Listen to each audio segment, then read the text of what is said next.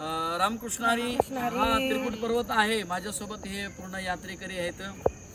सगळे यात्रेकरी आहेत. आपले पुण्यामधून आलेले पूर्ण आहेत.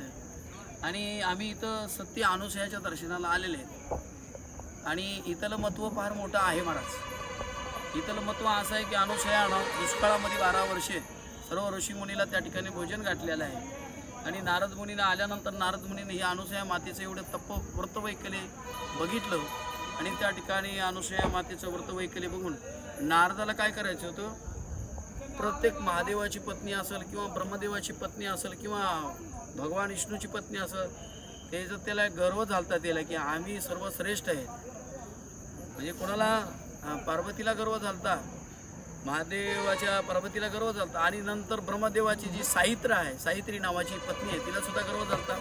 विष्णुदेवाची लक्ष्मी तिला गर्व झालता म्हणून नारद मुनीला वाटलं की आयता याचं गर्व हरण करावं. म्हणून नारद मुनीने सांगितलं की प्रत्येक पत्नीला सांगितलं ब्रह्मदेवाच्या पत्नीला सांगितलं की तुमच्यापेक्षा श्रेष्ठ अनुसया माता आहे. ती त्रिकुट शिखरी नावाच्या पर्वतावर राहते. उत्तर प्रदेशमध्ये असं सांगितल्यानंतर महाराज असणार त्या ठिकाणी तिने पत्नीला सांगितलं त्याला अभिमान आला आणि त्यानं काय केलं की आपल्या पतीला आग्रह केला की तुम्ही जा. तुम्ही जाऊन ताबडतोब त्या ठिकाणी जी अनुसया मा माता आहे ती महान पतिव्रता आहे तिचं पात्यव्रत भंग करण्याकरता तुम्ही जा. असं सांगितल्यानंतर त्या ठिकाणी ब्रह्म विष्णू महेश येणं संन्यासाचं रूप धारण केलं. आणि त्या ठिकाणी अनुसया मातेला म्हणू लागले की आई आम्हाला भोजन द्या. आईनं सांगितलं तर भोजन तर चालूच आहे तुम्ही बसा पंक्तीला. नाही नाही आम्हाला असं नाही हे भोजन देऊ नका. आम्हाला जे दगडं आहेत दगडं ते दगडं शिजून आम्हाला द्या. आणि असं भोजन द्या की तुम्ही नगळा अवस्थेमध्ये भोजन द्या. त्यावेळेस मग ती पार्वती माता महान सतीपतीव्रता असल्यामुळे तिला करायला की हे साधी संन्याशी नव्हत. हे म्हणजे ब्रह्म विष्णू महेश आहेत. आणि माझी परीक्षा घेण्याकरता आले तिनं त्या ठिकाणी आपल्या पतीकडे गेली. आणि आपल्या पती परमेश्वरला प्रणिपात म्हणजे साष्टांग दंडवत घातला. आणि सांगितलं की आम्हाला संकट पडेल आत्रीमुनीनं त्या ठिकाणी कमंडूतलं पाणी दिलं. आणि भारून दिल्यानंतर सांगितलं हे तिन्ही देवाच्या अंगावर तू संचन कर. आणि सिंचन केल्यानंतर त्याचा बदल होईल. सिंचन केलं आणि तिन्ही त्या ठिकाणी ब्रह्म विष्णू आणि महेश हे लहान बाळ झाले. लहान बाळ झाल्यानंतर महाराज असणार त्या ठिकाणी. मग कितीक वर्ष कितीक वर्ष गेल्यानंतर ह्या तिघी जण पत्नी जे अभिमान चढला होता याला गर्व आलता. हे वाट पाहतात आणि मग नारद मुनीला विचारतात की आमचे पती कुठं ते म्हणले जा. तुमचे पती त्रिकुट पर्वतावर त्या ठिकाणी सत्य अनुसयानं बाळ केलेले आहेत. आणि मग असं म्हणल्यानंतर तिन्ही त्या ठिकाणी आल्या आणि अनुसयाच्या चरणाला लागल्या. की आमचे पती द्या. आता मृत्यू लोकांमध्ये सुद्धा इथं मानव देह घेऊन सुद्धा तुम्ही आमच्यापेक्षा श्रेष्ठ आहेत अशा त्या ठिकाणी लक्ष्मी सावित्री आणि पार्वतीनं सुद्धा त्या ठिकाणी मान्य केलं आणि अनुसया मातेला त्या ठिकाणी प्रणिपात केला. आणि अनुसया मातेनं सांगितलं की ओळखून घ्या. तिला ओळखू आलं नाही पण अनुसया मातेनं सांगितलं हा ब्रह्म आहे हा महेश आहे हे विष्णू आहे. अशा पद्धतीने त्या ठिकाणी तिन्ही पत्नीला त्या ठिकाणी प्रगट केला देव. आणि प्रगट केल्यानंतर देवाला त्या ठिकाणी प्रगट केल्यानंतर ब्रह्म विष्णू महेश म्हणू लागले की आई आजपासून तुम्ही आम्ही आईची आई झालेत.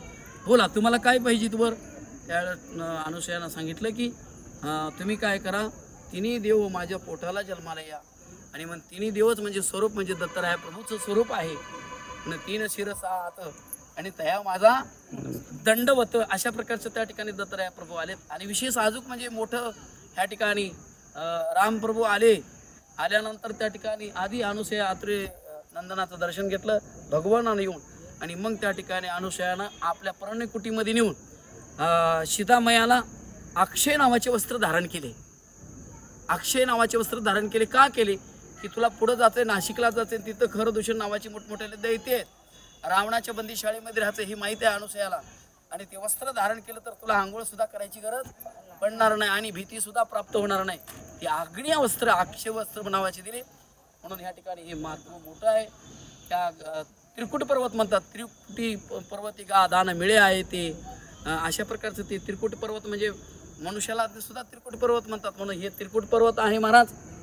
आणि ह्या पर्वताचं जो दर्शन घेईल त्याच्या अनंत जन्माचे जे पाप आहे ते पाप पूर्ण भस्म होऊन ह्या ठिकाणी त्याला सद्गती म्हणजे मोक्षाची प्राप्ती होती. दुःख असलं तर त्याचं. दुःख जातं दारिद्र्य असलं तर दारिद्र्य असलं तर दारिद्र्याची पूर्ण नायनाट होतो. आणि सर्व सुखी होऊन ह्या लोकांमध्ये सर्व सुख भोगून मरतो लोकांमध्ये. शेवटच्या अंतकाळाला म्हणजे भगवंताची प्राप्ती होती. एवढं महत्त्व आहे या तीर्थयात्रेमध्ये आल्यानंतर ह्या तीर्थयात्रेकऱ्याला एवढं महत्त्व प्राप्त व्हायलंय इथली माती जर डोक्याला लावली तरी माणूस पुण्यवंत होतो. एवढ्या मातीचं या ठिकाणी महत्त्व आहे. ह्या मातीला त्या ठिकाणी रामप्रभूचा सीतामय्याचा अनुसया मातेचा दत्तराय प्रभूचा सर्व संतजनाचा अनेक देवाचा त्या ठिकाणी ह्या मातेला स्पर्श झालाय. त्याच्या चरणाला पवित्र झालेली. म्हणून आम्ही सुद्धा त्या ठिकाणी पवित्र होता. असंच या ठिकाणी स्वराज्य आपलं जे चॅनल आहे हरिभक्त प्रणपूजा आमचे साळुंके महाराज यांच्या मार्फत या ठिकाणी मी बोलण्याचं त्या ठिकाणी प्रयत्न करतो. आणि त्या ठिकाणी काय असेल ते त्या ठिकाणी ही जिथली ही म्हणजे स्थिती आहे ज्या ठिकाणी घडलेला आहे इतिहास घडलेला आहे. ते इतिहास सांगायचा मी प्रयत्न केलेला आहे. म्हणून या ठिकाणी आम्हाला जे रूटला आणलेलं आहे आमचे सपकाळ महाराजांना या ठिकाणी आम्हाला सर्वाला घडवलेलं आहे. म्हणून आम्ही त्याला सुद्धा धन्यवाद देतो आणि आपल्या स्वराज्य चॅनलला सुद्धा त्या ठिकाणी धन्यवाद देतो. हरि ओम गुरुदेव दत्त प्रभु दया निधी चरण वंजर पंजर ओम गुरु दत्तात्रय महाराज की श्री राम प्रभू की नमस्कार मी वंशिता जाधव आणि आपण पाहताय स्वराज लाईव्ह. चॅनलवर जर नवीन असाल तर चॅनलला सबस्क्राईब करा व्हिडिओ आवडल्यास व्हिडिओला लाईक करा आणि शेअर करायला विसरू नका. धन्यवाद.